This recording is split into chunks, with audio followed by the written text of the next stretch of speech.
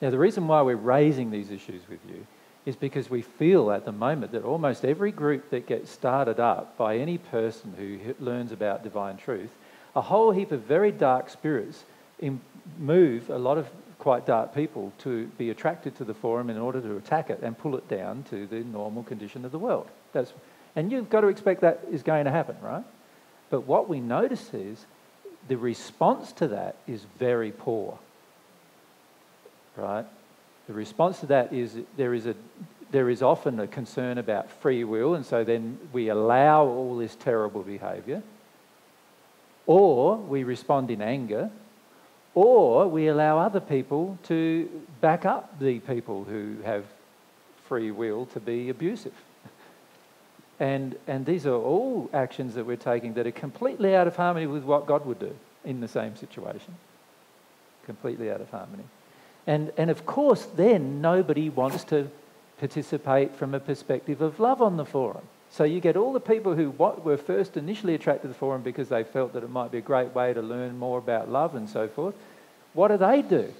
They all shut up or leave. The majority of them finish up leaving, or they shut up completely. You know, they shut down completely. They don't express anything because they know that every time they're going to express something, the people who are in a darker condition will just attack them anyway. Right? And this is the general thing that's been happening with most groups, physical groups in people's homes, and also most forums. Right? And I feel a lot of it is because the person who created the group or the forum isn't aware of their own responsibility. That's partly the problem. But the other part of the problem is that, is that many of us believe or have a false perception of what has been taught. So, this whole thing about free will, many of us have a terrible perception of that. You know, we constantly have issues where we're talking with parents about their children and how they let their children run around like without any form of restrictions whatsoever. Right? And the children are out destroying things, breaking things, yelling and screaming, interrupting everybody else, all out of harmony with love. And yet the parents go, oh, well, they've got free will. We've learned about free will, haven't we? Maybe there's something in my soul that I've, got to, uh, that I've got to work through. Yeah, there is. You've got to work through the fact that you've got a completely false belief of free will. That's what, that's what you've got to work through, really. right? There is certainly something you've got to work through in your soul level. Right? Um, what if you, like, if you privately approached the leader of the group and asked them if they would be interested in a perspective that, you know, an observation that you've had about their group. Would that be a loving thing to do? Of course. Or even, you could even express it publicly if you wanted to. But at the end of the day, if, if you're unloving or they, or they feel you are, don't be surprised if you get removed. And of course, this is not, uh, remember, I haven't said this is not my feelings of whether you have been. This is their feeling because they have the responsibility for what they created. So if they happen to create the group and they are in a first sphere condition, then of course their ideas of love are going to be first sphere condition ideas of love. If they have a desire to grow, if they have a desire to be self reflective, most of the time they might listen to different people. But what, what we notice more than often than not is going on is that there is not that at all occurring, but rather there is this allowance of attack. And this is one problem that many of us have. We allow the attack of other people without doing anything about it. We allow other people to attack other people in our own homes and in our own forums that we created. So, so we're not even setting up some kind of framework of what are the principles involved in this forum. Now, when Cornelius set up, uh, well, he didn't set up, remember, he didn't set up the group. The group emailed, uh, group talked together, emailed whole thing, things out, and the very first response I had was, um, who's the most loving person in your group? Because that, that, like, if I set up a group and I attracted someone more loving than me, ha, I'd be so happy about that. I'd be going, You sure you don't want to run this group? Right? This is, seems to be a great opportunity. I would love to learn from you. I would love to know what's going on. I'd really like to know. And if the person's willing to share their time, even mentoring me, like even if they don't want to come along the group, I'd say, I'd say, look, can you just mentor me then? Like, can I share some things with you about what I'm finding from the group? And you, you give me some help with that. I'd, I'd at least do that. If the person didn't want to lead the group, I'd sort of treat them as my uh, silent, silent uh, mentor on the side if, that's, if they didn't want to have a more public exposure.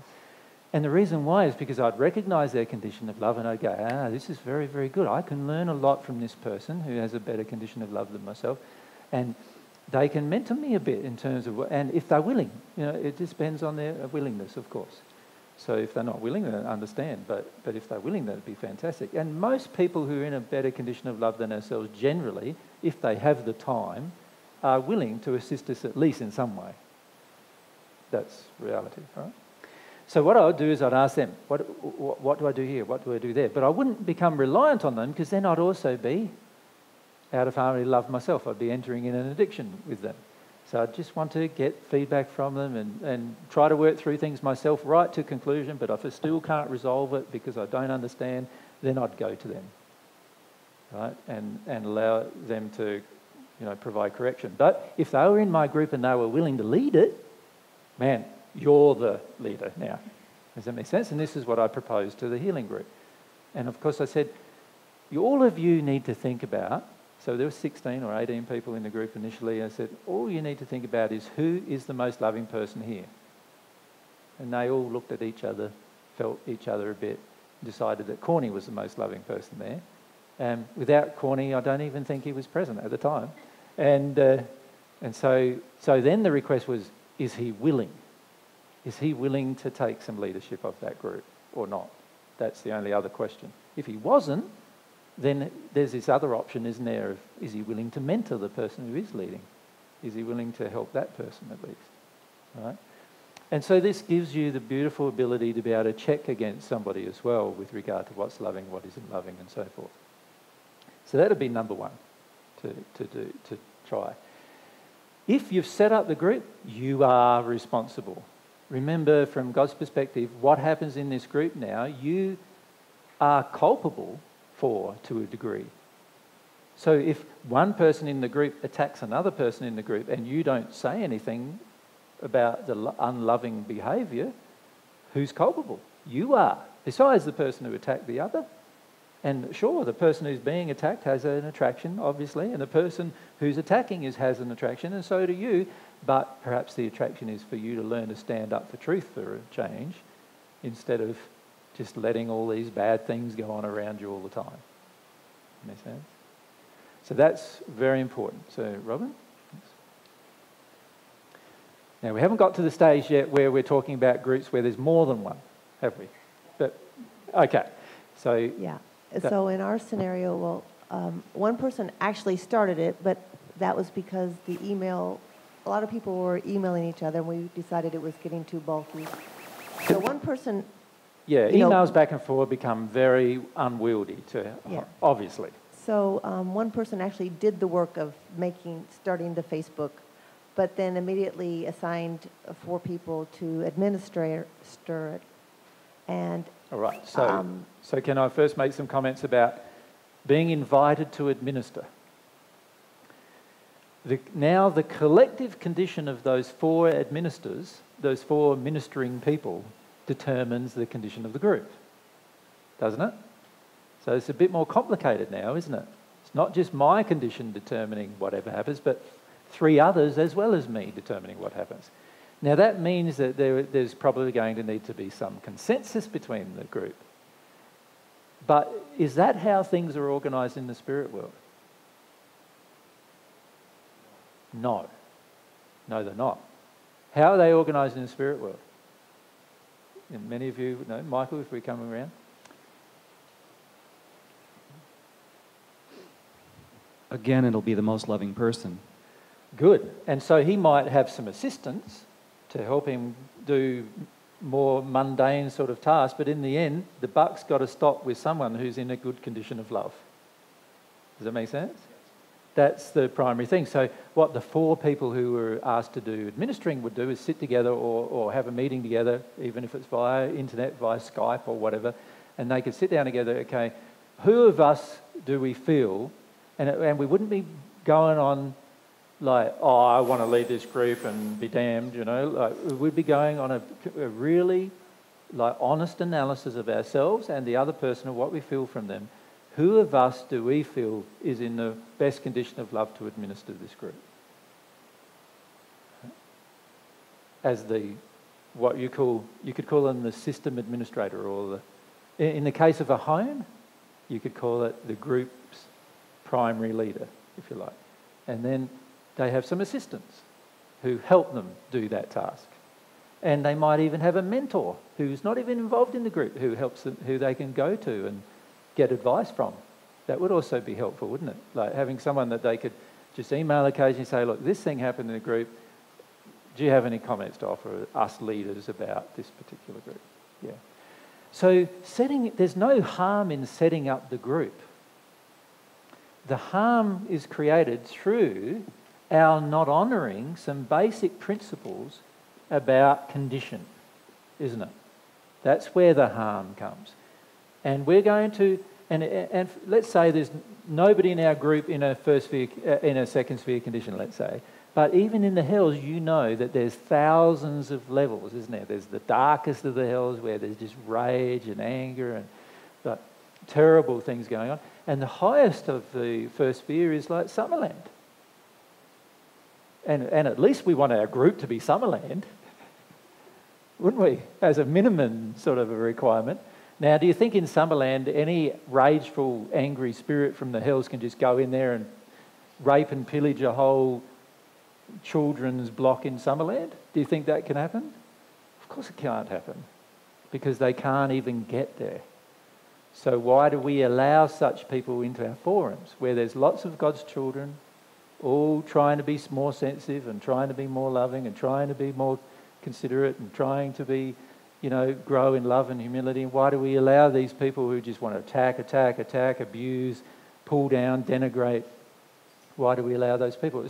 And we're not talking here about having a different opinion, because the reality is anybody can come into our forum and have a different opinion. There, there are celestial spirits who have totally the opposite opinions to each other. Did you know that? Totally the opposite opinions.